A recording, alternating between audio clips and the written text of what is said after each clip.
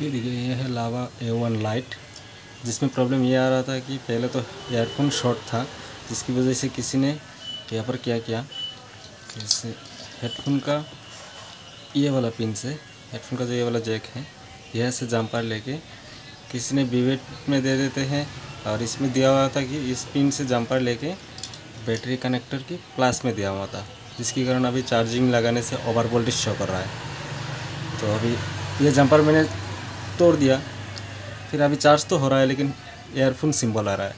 तो अभी इस एयरफोन सिंबल भी जाए और बैटरी का ओवर वोल्टेज भी शो ना करे, ऐसा रिपेयर करना है, जो कि दोनों का सोल्यूशन हो जाए। तो ऐसा करने के लिए हमें क्या करना पड़ेगा?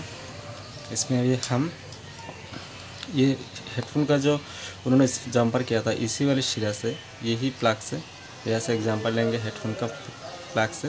और पीछे देखिए ये सिक्स पिन का एक आईसी लगा हुआ है।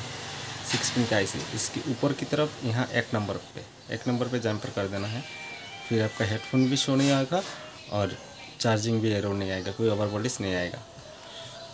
यहाँ से, यहाँ तक, ये आईसी का ऊपर की तरफ़ इस साइड से एक नंबर पिन में। ये जो ऐसे इस साइड यहाँ से जंपर लेना है, एक नंबर पिन से लेके हेडफोन का इस वाले प्लग पे जंपर कर देना है।